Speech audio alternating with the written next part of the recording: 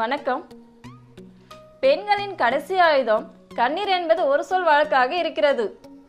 அப்படிப்பட்ட கண்ணீர் நம் உடல் நலத்துக்கு பல்வேறு நன்மைகளை விளைவிக்கிறது என்பது உங்களுக்கு தெரியுமா? அதாவது கண்களில் என்ன பாதிப்பு வந்தாலும் உடனே கண்களை காக்கவே கண்ணீர் வருகிறது. அதன் பிறகு மருத்துவரிடம் சிகிச்சை பெற்றாலும் முதலுதவி கண்ணீர்தான். அதில் உள்ள சத்துக்கள் கண்களை காத்து நன்மையையும் தரும். கண்ணீரானது கண்களுக்குள் நச்சு கிருமிகள் புகுவதை தடுத்து கண்களை அலசி காக்கிறது. கண்களின் கிருமி நாசினி என்று கண்ணீரை சொல்லலாம். கண்ணீரில் உள்ள கிருமி நாசினிகளை கண்களை காக்கும் சக்தியாக இருக்கிறது.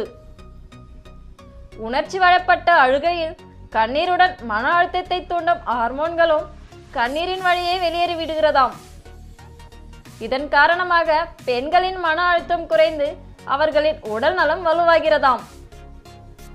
உற்சாகமான மனநிலைகளில் சுட்டி குழந்தைகள் வீடுகளில் செய்யும் குறும்புகளில் நல்ல நகைச்சுவை காட்சிகளை காணுகையில் மனம் விட்டு சிரிக்கும் போது நம்மை அறியாமலேயே கண்ணீர் வரும். அந்த ஆனந்த கண்ணீரில் உடலை மனதை வருத்தும் மன அழுத்தத்தை தூண்டும் ஹார்மோன்கள் தானாகவே வெளியேறிவிடும். அழுகையை அடக்காமல் கண்ணீரை வெளியேற்ற வேண்டும். அப்படி அந்த அழுகையை அடக்கினால் மன அழுத்தம் உடல் சோர்வு போன்ற பாதிப்புகள் ஏற்படக்கூடும். வாய்ப்பு கிடைக்கும்போது மனம் விட்டு கண்ணீர் வர சிரியுங்க. இதனால் உடல் சமநிலை அடைந்து மனதில் அமைதியையும் செயல்களில் தெளிவும் ஏற்பட்டு வாழ்க்கை இன்பமாக இருக்கும்.